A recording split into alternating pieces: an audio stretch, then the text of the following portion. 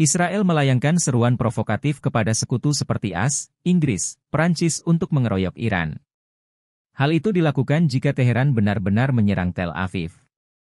Namun ketiga negara sekutu Israel menolak ajakan menyerang Iran. Dikutip dari Daily Mail, ajakan itu disampaikan oleh Menteri Luar Negeri Israel, Israel Katz. Pihaknya berharap Prancis dan Inggris mendukung Israel menyerang Iran jika Teheran meluncurkan serangan ke Tel Aviv.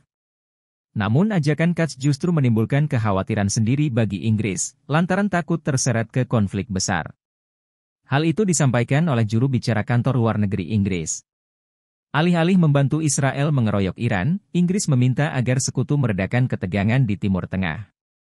Seorang sumber yang tak disebutkan namanya juga mengatakan Prancis dan Inggris tidak membahas bergabung dengan koalisi menyerang Iran. Pernyataan senada disampaikan pejabat AS yang mengeluarkan nada lebih keras. Pihaknya mengelak terlibat rencana serangan Israel ke Teheran dengan mengatakan situasi sangat hipotesis. Sebaliknya, pejabat senior Washington itu memberikan peringatan agar tidak ada serangan di kedua pihak lantaran ada jalan untuk mencapai gencatan senjata. Download Tribun X sekarang, menghadirkan lokal menjadi Indonesia.